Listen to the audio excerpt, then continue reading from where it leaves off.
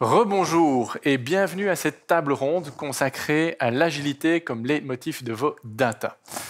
Alors aujourd'hui, malheureusement, bien souvent, quand on exécute un rapport BI, on a le temps d'aller se chercher une petite tasse de café, ce qui est parfois d'ailleurs bien frustrant.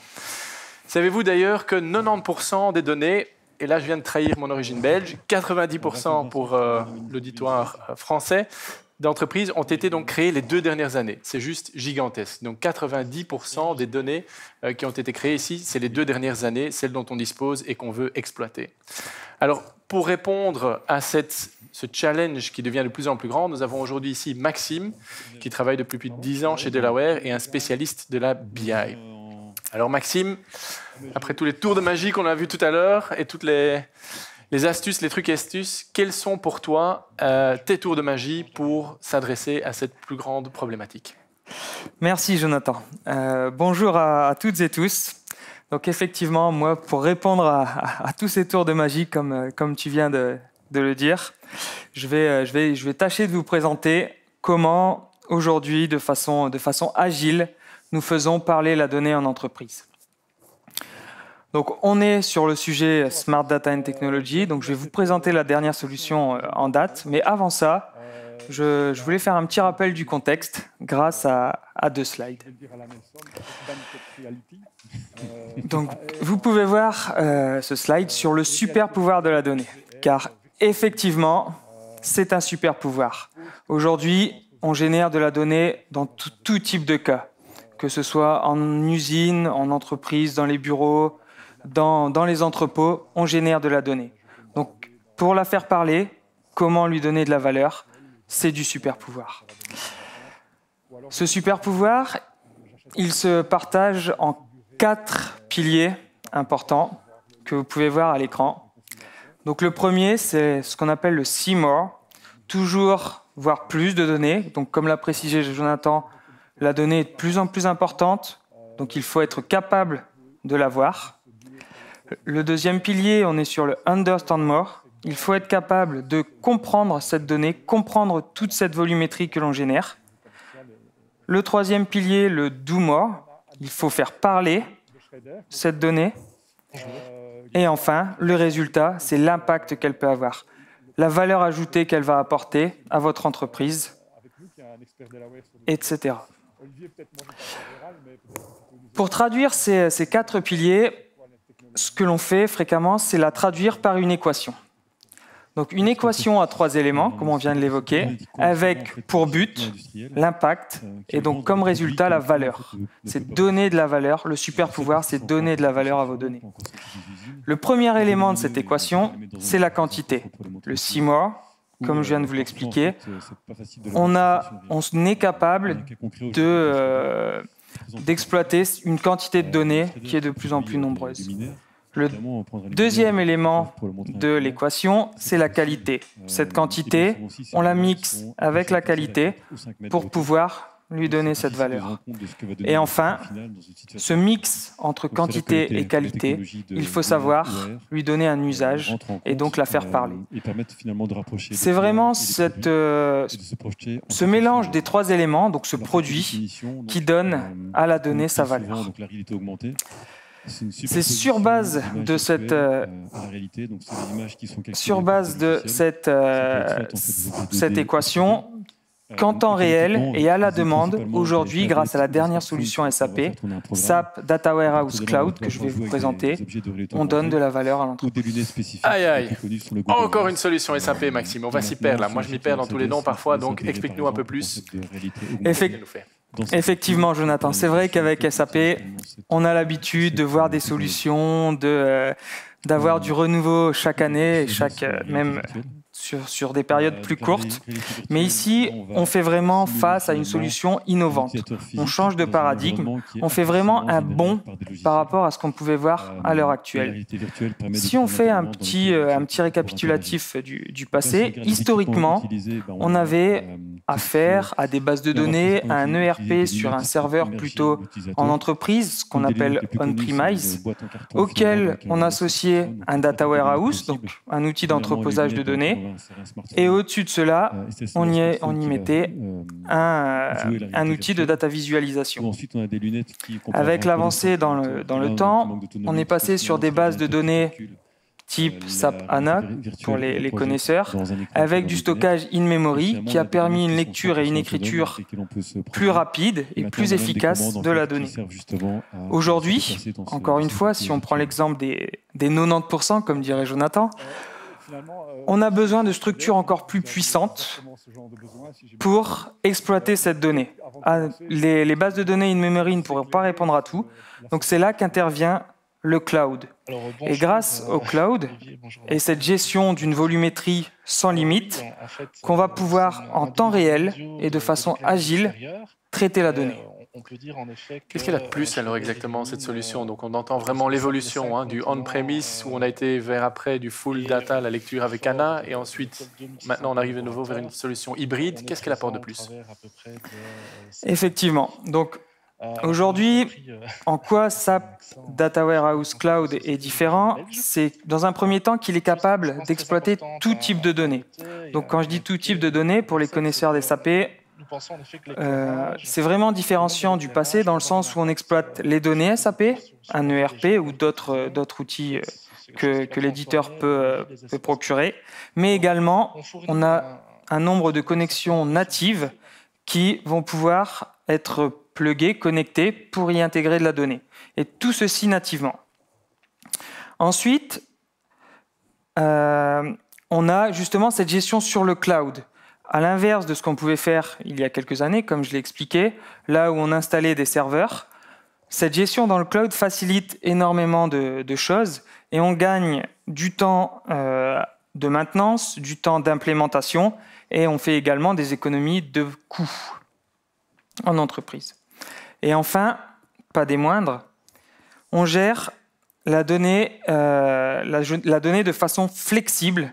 Le stockage, et, euh, le stockage de la donnée est vraiment déterminé en fonction des besoins, sans contrainte de volumétrie. C'est vraiment un terme, le terme qui revient souvent avec Data Warehouse Cloud, c'est l'élasticité. On définit des zones de stockage de données, une volumétrie, en fonction du besoin, donc en fonction par exemple des pôles d'une entreprise. C'est ce point, ce petit ce curseur qui va être défini par vous-même, par les utilisateurs de l'entreprise pour savoir où est-ce qu'on va mettre, où est-ce qu'on va avoir besoin de données, où est-ce qu'on en aura plus besoin, et on va définir ce besoin. Ce nouvel outil, est-ce qu'il va être exploité comme un outil classique? C'est une très bonne question, Jonathan. Euh, la principale caractéristique de l'outil que je n'ai pas encore évoqué, c'est qu'elle a été développé et orienté pour le métier. C'est très très différenciant de ce que l'on peut voir chez certains concurrents. C'est que l'objectif est de réduire la frontière entre l'informatique, donc le pôle informatique d'une entreprise, et le business et le métier. Aujourd'hui, dans plusieurs de nos missions, je pense que Jonathan, tu es témoin aussi, on fait face à des, contraintes et une rigidité parfois, que ce soit d'un point de vue géographique ou d'un point de vue, euh, euh, je vais dire, humain, entre les personnes de l'IT et les personnes business, quand il s'agit de faire une évolution, des correctifs, etc. L'objectif de l'outil, c'est vraiment de réduire cette frontière. Que l'IT puisse l'utiliser, mais également, euh, mais également le business. Donc pour cela, Data Warehouse Cloud est centralisé. Aujourd'hui, tout sera gouverné au même endroit dans le cloud, quelle que soit l'entité ou le pôle d'une entreprise. Si je, si je prends un exemple, donc on va parler d'espace. D'espace, donc je vous montrerai à, travers une petite vidéo tout à l'heure. Dans un espace, on va pouvoir gérer sa propre donnée, mais tout sera centralisé. Si je prends un exemple, un, directeur commercial pourra en temps réel, dans l'heure qui suit une action marketing, suivre l'évolution des ventes et donc savoir si cette action marketing fonctionne ou n'est pas concluante. J'ajouterai également que cette, euh, intégration euh, métier se caractérise techniquement, à travers également une couche sémantique. Donc ce qu'on appelle également business layer en, en anglais, c'est que tous les objets au sein de celle-ci seront sont facilités et sont orientés métier. l'outil est pré-packagé. Donc SAP ou Delaware fournit des packages qui sont implémentés ensemble pour vraiment faciliter cette, euh, cette intégration métier et améliorer la valeur que peut avoir la donnée dans votre, dans votre business. Si je prends un exemple encore sur la, centralisation et de, de, la donnée entre différents pôles d'une entreprise, le pôle finance va plus ou moins utiliser, par exemple, c'est toujours un exemple, mais la donnée en début de mois, après les périodes de clôture, tandis que la logistique, en fonction des besoins, on sera plus sur du mois entier ou en fin de mois. C'est ce que va permettre cette, centralisation et donc, si je peux me permettre, cette désilotisation. Donc, les silos qu'on pouvait voir avec les outils de, de BI actuels vont être, euh, je vais dire, euh, agrégés. Pour, pour, conclure avec ce point, pardon, on est vraiment sur une, solution hybride donc qui est, euh, gérée par l'IT, qui sera toujours gérée par l'IT, mais qui offre une très grande autonomie au métier. On est sur quelque chose de bénéfique dans les deux sens. L'IT va pouvoir donc l'informatique va pouvoir se concentrer sur des évolutions à plus long terme, tandis que le métier va pouvoir avoir plus d'autonomie pour traiter ces données et, euh, et la, la, valeur de, ce qui est, de son business. On parle vraiment de plateforme collaborative. Question qui touche au portefeuille maintenant, Maxime. Aïe aïe. SAP, ça va nous coûter cher tout ça Pour visualiser et connecter nos données, je dois encore acheter un outil? Je dois encore dépenser? Dernière caractéristique de Data Warehouse Cloud, Jonathan, c'est une très bonne question, c'est la data visualisation. Aujourd'hui et dans le passé, on associait, donc comme je disais, on connectait un outil BI de data visualisation au Data Warehouse. Dans Data Warehouse Cloud, on, a un outil de data visualisation intégré. Pour les connaisseurs, SAC, SAP Analytics Cloud, est nativement inclus dans la solution. C'est-à-dire que toute la donnée qui va être traitée, stockée dans Data Warehouse Cloud va pouvoir être visualisée sans contrainte de coût et sans contrainte également de déploiement dans la solution. SAP, un petit aparté sur SAP Analytics Cloud, donc qui est aussi dans la stratégie cloud de SAP. C'est vraiment l'outil premium aujourd'hui pour le traitement de la donnée. Il comprend la BI, le classique, le décisionnel classique, le planning, et enfin le prédictif. On va parler d'intelligence artificielle, de machine learning et de prédictif. Tout ceci en un seul outil de data visualisation qui est inclus dans Data Warehouse Cloud. Donc, en conclusion, euh, les données dans Data Warehouse Cloud sont gérées ce qu'on appelle de bout en bout, end-to-end, le stockage, la modélisation et la data vise. Ce que je voulais vous montrer euh, aujourd'hui, c'est également, au-delà des discours, l'interface de l'outil et quelques écrans pour vous permettre donc de, de, vous projeter et de voir à quoi ça ressemble plutôt que, plutôt que de longs discours. On va voir une petite vidéo là, je pense, maintenant C'est ça, exactement. Donc une petite vidéo. Apparaître à votre écran. Doit apparaître. Incessamment sous peu. Voilà. Alors c'est deux minutes de vidéo. Donc SAP Data Warehouse Cloud, une gestion agile de vos données. Ce qu'il faut savoir, c'est que cette vidéo a été faite sur notre propre système. Donc chez Delaware, on utilise SAP Data Warehouse Cloud, que ce soit pour des démos ou pour notre usage officiel. Ici, on voit qu'on est sur une interface navigateur, donc très simplement à l'aide d'une URL. Deuxième élément, l'élasticité, la gestion du stockage que j'ai évoqué. On est toujours sur cette page et cette interface webisée et on va retrouver les différents pôles de l'entreprise, donc logistique, marketing. Je vais cliquer sur l'analyse de vente et ici je vais pouvoir gérer mon stockage. On voit le disque, on voit le in-memory et en fonction des besoins de l'entreprise, on va pouvoir gérer, donc l'utilisateur va pouvoir gérer son stockage. Et enfin, donc on retrouve les différentes connexions donc, qu'ils vont pouvoir gérer en fonction, encore une fois, de son espace. Deuxièmement, on est sur un outil de modélisation flexible. Toujours le même écran, toujours le même espace, l'analyse de vente.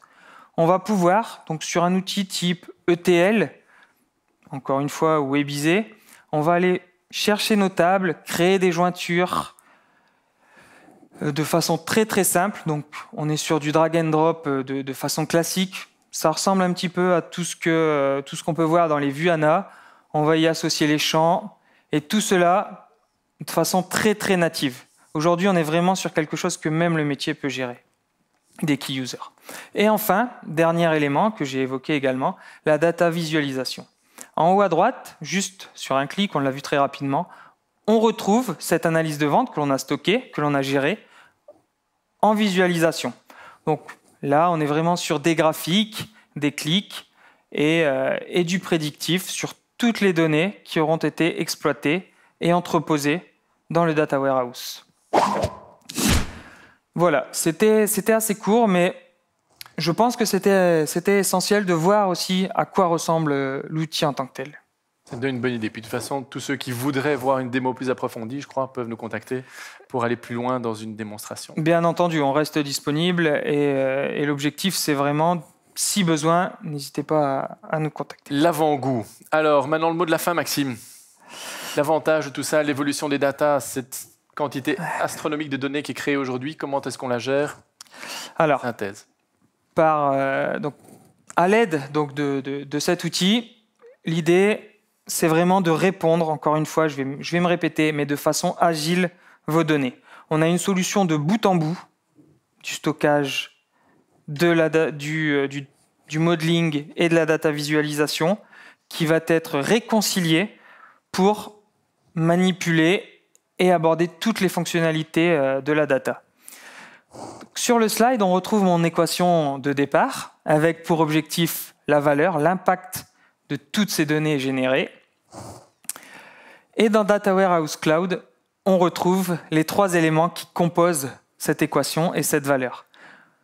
Si je passe sur chacun, la quantité, donc sans volume de volumétrie, qui va être apportée grâce au cloud et à l'élasticité, encore une fois, ce stockage in-memory en disque et donc j'en ai pas beaucoup parlé, mais de big data, de lake, etc. C'est des, termes assez, euh, assez à, la mode. La qualité, donc qui est apportée par l'intégration métier, sans contrainte de type. Donc le métier, encore une fois, va être totalement investi et intégré dans Data Warehouse Cloud. Et enfin, dernier élément, l'usage grâce à, la, SAP Analytics Cloud intégré nativement, on retrouve la BI, le planning et le prédictif. On est sur du multi-usage. On retrouve donc nos trois éléments, nos trois équations, et on obtient l'impact, la valeur, et ce qui fait aujourd'hui, malgré la, la montée exponentielle, l'explosion des données, une entreprise intelligente. Limite, je sens que je vais plus avoir le temps d'aller chercher ma tasse de café, moi, Maxime. C'est exactement ça. C'est l'objectif, plus de boulot. Super. Ben, écoute, merci en tout cas pour, euh, pour cette synthèse d'exposé bref sur le, sujet. Je pense qu'on peut doucement passer vers la partie euh, questions-réponses. Vous avez l'occasion normalement maintenant d'introduire vos questions sur le, le, chat qui devrait, si tout se passe bien en temps réel, apparaître ici sur mon petit iPad. Euh, donc n'hésitez pas à lancer vos, vos questions ça devrait apparaître. Ça n'apparaît pas encore. On espère que tout va bien. On va voir ici ce qui, ce qui se passe. On renverrait bien vers les studios de Nelson, mais ça, ça ne va pas être possible. Maxime Encore un autre mot, non? Sinon, sur la, BI hmm, Qu'est-ce que je peux dire de plus? Je préfère avoir des questions, mais euh, pour avoir votre, votre avis, et n'hésitez pas, euh, à, nous solliciter. Une démo en live sur les systèmes, comme ça, tu peux l'organiser facilement Ah oui, sans problème. Aujourd'hui, nous, on a tout ce qu'il faut, euh, en tout cas en interne, pour pouvoir créer la démonstration. Comme en plus, on utilise l'outil euh, dans, nos, dans nos analyses de tous les jours. Donc, comme pour, par exemple, au niveau, au niveau RH ou au niveau planning dans l'équipe, euh, dans l'équipe Analytics particulièrement. Donc, la démo, on peut la créer de façon donc, et vous accompagner pour, pour tirer avantage euh, de vos données. On en discutait encore tout à l'heure aussi pendant la pause. Je pense qu'on soutient encore, on supporte encore toujours les clients aussi sur les anciens modèles, les systèmes ERP. On facilite les migrations, mais de la aussi, on supporte encore toujours tout ce qui est les anciennes technologies. Bien entendu, aujourd'hui, Data Warehouse Cloud s'inscrit dans la, dans la stratégie cloud de l'éditeur et donc de Delaware, mais euh, des clients et les besoins du, euh, du on-premise, donc l'inverse du cloud, sont toujours, sont toujours présents. Aujourd'hui, on fait vraiment, l'objectif, c'est faire face à cette, euh, cette gestion hybride de la donnée. L'idée, c'est de passer progressivement dans le cloud. J'entendais encore, il y a, c'était pas plus tard qu'hier, que d'ici 5 ans, si je dis pas de bêtises, 70% des données seront dans le cloud. Donc on passe progressivement dans, dans, un, dans un mode d'analyse et de traitement de données dans le cloud. Et l'idée, c'est bien de pouvoir s'intégrer et d'être ici. Et les questions arrivent. Nickel, parfait. je repasse ici, je rafraîchis. Alors, première question. Hop. Sauf que j'ai un petit écran qui est devant. Hop là. Et voilà. Quel est le positionnement de la solution par rapport à SAP BW Forana? C'est une bonne question. C'est vraiment ce qu'on euh, ce qu'on vient d'expliquer en, quelques mots. Mais aujourd'hui, on a encore besoin du on-premise. On vend encore, on, implémente encore chez des clients SAP BW Forana, donc la dernière solution on-premise de SAP, et on passe sur une gestion hybride. On a des clients qui sont plus orientés cloud et des clients qui sont plus orientés on-premise. Donc, l'idée, c'est de passer progressivement, grâce à ce type d'outils, dans le cloud, mais toujours à travers une gestion hybride de la donnée. Denis qui nous pose une autre question. Pouvez-vous confirmer qu'on est en ISO fonctionnalité, qu'on opte pour une solution on-premise ou dans le cloud? Bonne question ça. C'est très très bonne question. Donc pas forcément. On peut, on peut gérer quelques, donc peut-être pour moi, l'implémentation se fait progressivement. nous sommes au début du quatrième Certains, certains pôles ou certaines entités de l'entreprise vont passer progressivement dans le cloud. Et l'idée, c'est de pouvoir gérer, grâce à l'outil de data visualisation ou autre, la donnée, que ce soit en on-premise, sur serveur ou sur le cloud. Mais en tout cas, ce n'est pas exclusif. C'est ce qu'il faut retenir de, de la session. Mhm. Est-il possible de tester l'outil en libre accès? Très bonne question également. Donc je ne sais pas qui l'a posée, mais euh, donc aujourd'hui euh, SAP propose euh, un essai, un essai de 30 jours. Donc vous pouvez vous connecter, c'est très simple. Et un essai de 30 jours qui va vous permettre de manipuler l'outil, d'y intégrer de la donnée. Et nous, dans, ces, dans ce type de d'essai, de manipulation de données, on peut vous accompagner chez Delaware. On vous accompagne dans, ce, dans cet essai gratuit si besoin pour faciliter votre, votre formation et votre test de l'outil.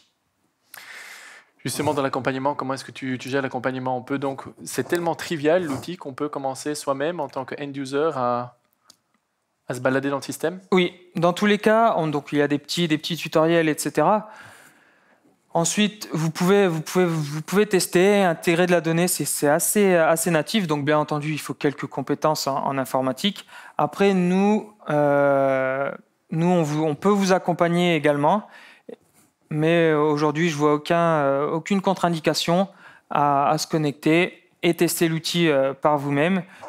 Et encore une fois, n'hésitez pas à nous contacter si besoin d'accompagnement et si besoin d'aide sur certaines fonctionnalités ou autres dans, dans ce type d'application. Il y a des prérequis système pour pouvoir installer ce genre de, landscape? Non, aucun, aucun prérequis aucun prérequis système. Donc on est vraiment sur, euh, on est sur le cloud. Donc derrière, il va y avoir toutes les, tout ce qui va être euh, gestion euh, sur, donc je pense à Azure, etc. Donc les, la partie, la partie infrastructure. Mais on est sur, on est sur aucun prérequis système en tant que tel, ou en tout cas en entreprise. Charlotte semble s'intéresser de plus en plus au, système. Est-ce possible d'avoir une idée d'ordre de prix, budget? C'est une bonne question. Aujourd'hui, on, discute beaucoup euh, avec SAP et c'est très très difficile d'estimer un prix à l'achat de la solution. Comment, comment on procède dans ce type d'application? Pourquoi c'est difficile? Parce que c'est très variable en fonction de l'utilisation on a ce qu'on appelle euh, des, unités de calcul qui, en fonction de votre stockage, donc c'est tout ce qu'on dit euh, aujourd'hui, tout ce qu'on a dit dans la session, en fonction du stockage et de votre besoin, on va fournir un prix. Ce que je peux vous, euh, vous conseiller, c'est un petit outil de calcul qui va vous permettre d'avoir un, ordre d'idée. Donc, je ne sais pas, je vais pouvoir l'envoyer sur la plateforme. C'est Data Warehouse Cloud Calculator qui va vous permettre, en fonction de vos besoins, d'y apporter un coup. Ce qui est peut-être intéressant, c'est à voir si on pourra donner l'information à Charlotte, sinon on le fera offline. Euh, à partir de quel montant on peut commencer à... Oui, c'est vraiment c'est vraiment très difficile de donner un chiffre, mais ce qu'on peut faire, c'est peut-être juste lui. Oui, ouais, bien sûr, on pourra la contacter en, offline pour, pour discuter plus précisément du, du montant. Et je vois qu'on arrive à la fin de la session, donc on va devoir rendre l'antenne et repartir, à mon avis, vers Nelson. Merci Maxime en tout cas pour ces explications. Merci à tous, j'espère que ça vous a plu et bonne, bonne fin de session. Merci, au revoir. Au revoir.